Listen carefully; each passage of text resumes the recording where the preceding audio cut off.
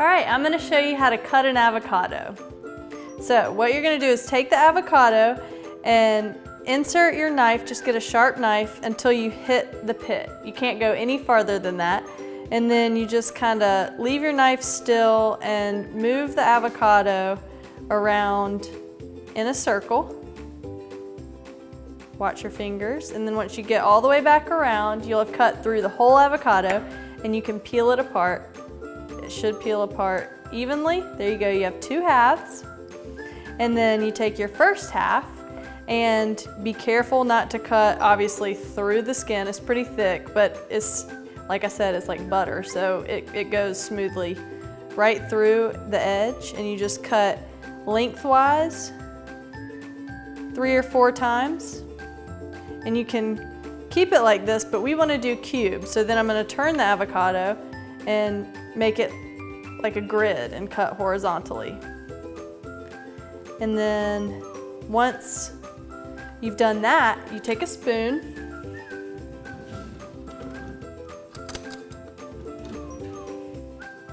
You take a spoon and just scoop out.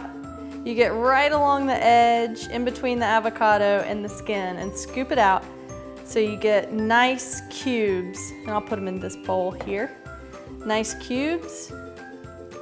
Um, some people say they just take it and they squeeze it like this and they come straight out. And they do, but I'm trying to keep the cubes pretty here because they're gonna go on top of a salad. Um, and then for the other half, put this aside, your seed is in there. So all you have to do, you have your avocado on the ground, watch your fingers, and just whack the seed and then take it and spin it and out it comes. Voila. And then you can just set, you have to get the seed off. Sometimes it's kind of hard. Sometimes, there it goes, it went away. You kind of have to whack it on the side of something to get it off. But you do the same thing with this half, cut it lengthwise. And then the opposite way. And you scoop it out.